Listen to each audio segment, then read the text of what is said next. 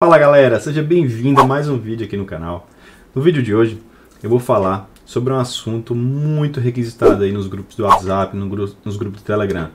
É, geralmente quem está iniciando o Bubble e eu vejo isso é quem está construindo alguma aplicação de para restaurante, para distribuidora, para aplicativos em, de, de entregas, de delivery. A maioria é para aplicativos de delivery. E eu vejo sempre uma dúvida, que é como você fazer para que toque um alerta sonoro no dashboard do restaurante ou no dashboard da empresa, tá? E é isso que a gente vai fazer no vídeo de hoje. Eu vou mostrar para você como é que você pode criar esse alerta sonoro aí, porque geralmente no restaurante ninguém fica olhando na tela ali o tempo todo, né? Para saber se chegou o pedido novo ou não. Então a gente precisa de um alerta sonoro para ficar atento e ver qual é o pedido.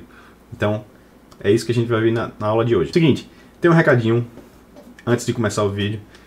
Tem um, um, link na descrição aí, que é do grupo do WhatsApp do meu curso. Meu curso vem aí, tá? Estou lançando dia 1 semana que vem, de hoje a 8.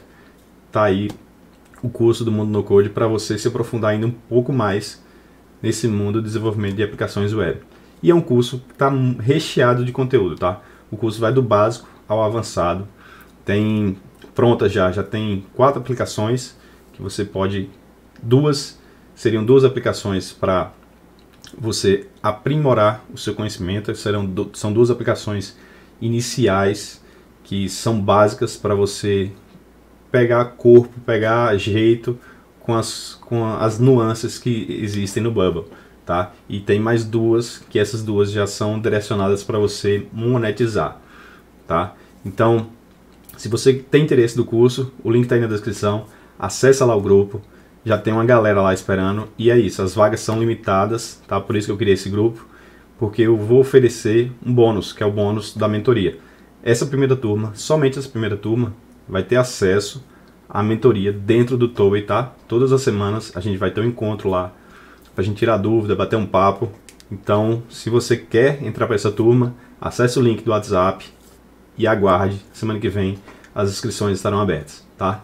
Mas, sem mais delongas, bora lá, bora pro vídeo, bora começar. Seguinte, galera, eu tô aqui, eu criei aqui essa página, né? É, eu, vou, eu vou já testar aqui para você ver. Eu criei aqui alguns itens, não é assim que você cria o, o, o pedido, né? Mas, antes que vocês falam, mas não é assim que você cria um pedido, tá? Não, calma, eu só criei aqui para a gente simular um pedido chegando no restaurante, tá? Essa é uma página dinâmica, tá? Essa é uma página que seria de um restaurante, seria o dashboard de um restaurante, tá? E tá aqui o nome do restaurante, restaurante que sabor. Beleza.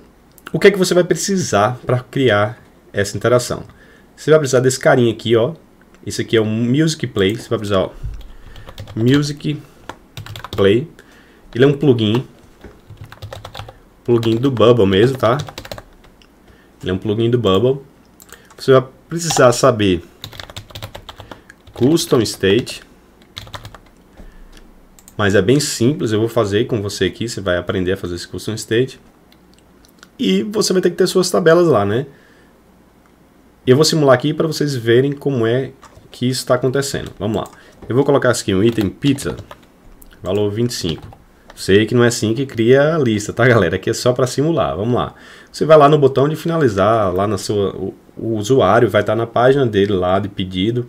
Ele vai clicar em comprar, finalizar a compra, tá? Depois que finaliza a compra, aí chega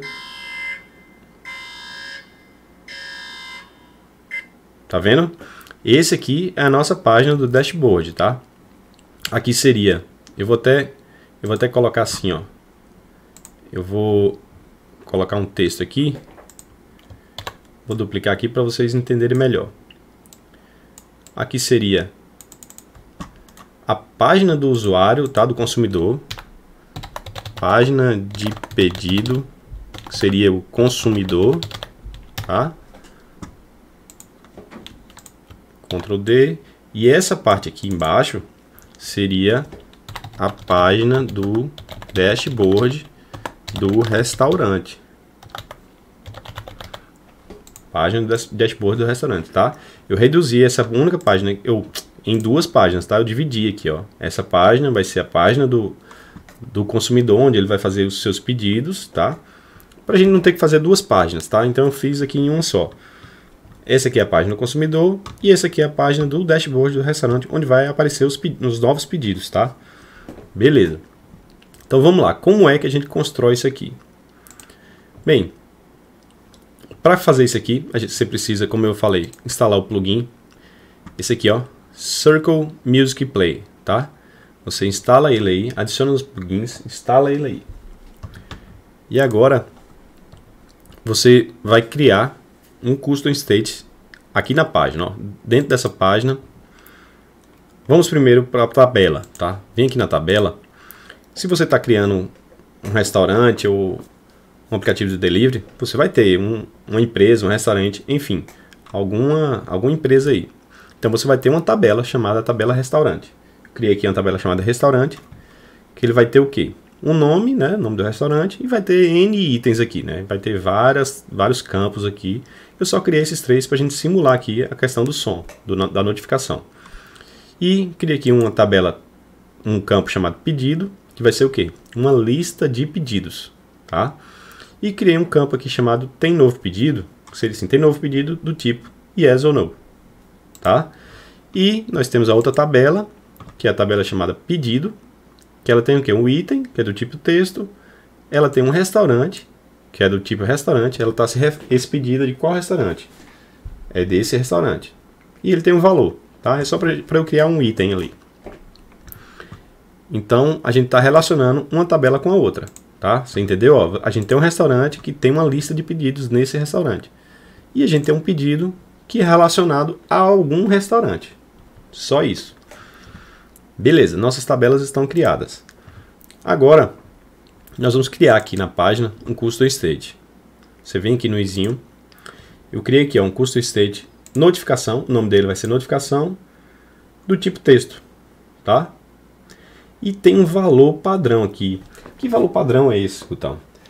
Esse é a URL onde está localizado o som, tá? Onde está localizado a sua notificação, o seu áudio. Vai, você vai pegar essa URL e colar aqui, nesse custom state, tá? Você vai vir assim, ó, adicionar novo custom state, você coloca aí som, sei lá, o nome você, você dá o que você quiser. E o tipo texto. Só é criar e você cola a sua URL aí cola a URL aqui nesse custom state e agora você vem no Circle, no, no, no, play aí de música, cria um custom state nele também, tá? Você vem aqui no izinho nele e coloca assim um custom state do tipo tocar, tá? Tipo tocar, tipo texto. Beleza.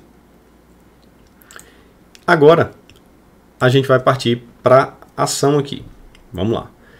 Quando eu clicar nesse botão aqui, ó, comprar, você inicia um workflow. Vou até botar ele verde aqui. Seria o botão de comprar, finalizar pedido, tá? Então, você vai criar um novo pedido.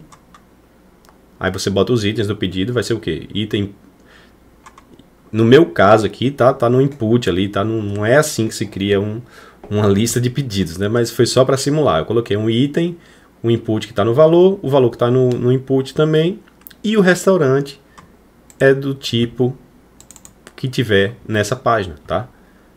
Porque essa página, onde o usuário vai estar, onde vai estar os produtos para ele, ele escolher, vai ser uma página dinâmica do tipo restaurante, onde vai estar os produtos daquele restaurante, tá? Então, a gente precisa criar um pedido nesse restaurante aonde a gente está localizado. Aí, Próximo passo, a gente faz uma mudança no restaurante, na página do restaurante atual, tá? Fazendo o quê? A gente adiciona esse pedido que a gente acabou de criar nesse restaurante, a lista de pedidos desse restaurante. E faz uma mudança novamente no restaurante, pode poder ser aqui também, tá? Mas eu fiz depois aqui, ó. Faz uma nova mudança no restaurante colocando tem novo pedido para yes. Lembra que a gente criou aqui na tabela restaurante, a gente criou um pedido, tem novo pedido, yes ou no, tá? Então, a gente coloca esse tem novo pedido para yes. Beleza, tudo certo aqui. Agora, a gente precisa colocar uma, uma condição aqui nessa página, uma condição verdadeira. Quando algo acontecer, quando algo verdadeiro acontecer, eu quero que aconteça alguma interação. Então vamos lá. Aqui no workflow, você vai puxar aqui, ó. Quando essa condição for verdadeira, tá? Quando alguma condição for verdadeira, você faça algo. Então vamos lá, é esse aqui. E aqui você vai colocar a condição. Qual é a condição que a gente quer que toque o alarme? A gente quer que a notificação toque quando tiver um novo pedido no restaurante. Todo pedido novo que tiver no restaurante, ele toca esse, esse alerta. Então vamos lá. Então, quando é? Quando o restaurante atual, a página do restaurante, tem novo pedido, foi yes. Tá? Quando ele foi yes, aí o que é que eu quero que faça? Aí a gente seta o state, tá? Seta o state para o music play, que foi onde a gente criou aquele custom state aqui, ó. A gente criou um custom state do tipo texto, tá? E o custom state tocar e o valor qual é? Vai estar aqui na página, nesse custom state da página. Notificação texto, tá? Ele está onde? Ó, this page, que é a página, o nosso custom state, que foi o custom state que a gente criou na página aqui. Ele está aqui. Notificação, texto e o endereço do, do áudio. Então, quando a página tiver o, o, um novo pedido como yes, um novo pedido como yes, aí ele toca ele toca o endereço da URL que está localizado no nosso custom state da página, tá? E aí a gente faz o seguinte, adiciona aqui, eu adicionei 6 segundos, tá? Se quiser colocar 10, seria interessante você colocar um pouquinho mais que o, o, a duração do seu áudio aí, né? E agora a gente vem aqui novamente, seta state de novo no music play para ele não vazio, tá? Para ele não tocar nada. E a gente faz uma mudança na página transformando essa página atual tem novo pedido para yes para no.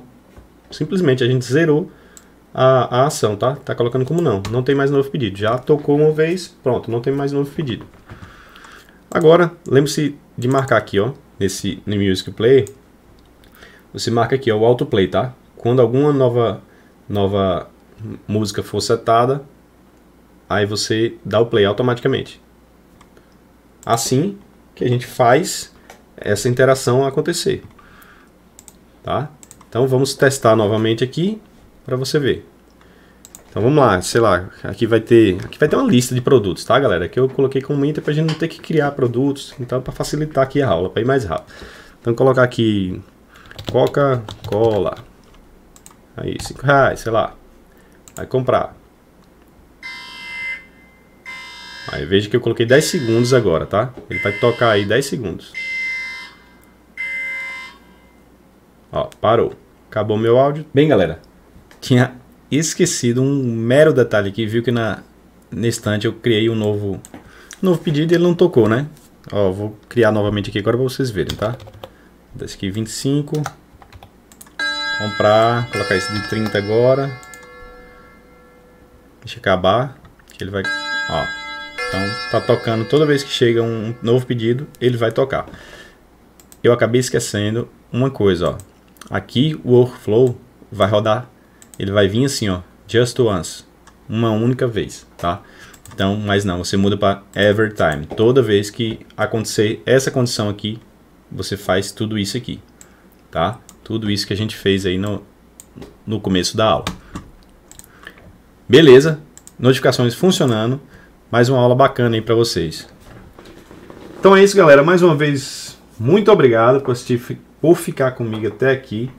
E se você gostou desse vídeo, não esquece, se inscreve aí no canal, me ajuda muito. Você não sabe o quanto isso me ajuda. Porque só assim o YouTube entende que você está gostando do meu conteúdo, que meu conteúdo é relevante para você e ele vai poder entregar para mais pessoas. Então, me ajude aí, se inscreve aí no canal, deixa seu like, comente abaixo se funcionou na sua aplicação, se vai ser usável para você, tá? E tem o link da descrição do curso, se você quiser aprimorar ainda mais seus conhecimentos em Bubble, quiser desenvolver uma aplicação, quiser tirar a sua ideia do papel, eu vou estar lá na comunidade todas as semanas, disponível para todos lá, para a gente criar uma turma sensacional aí, tá? Então, clica no link embaixo, entra no grupo e vamos fazer parte desse curso do Mundo no Code, vamos fazer parte da primeira turma, tá? Então, mais uma vez, muito obrigado e até a próxima.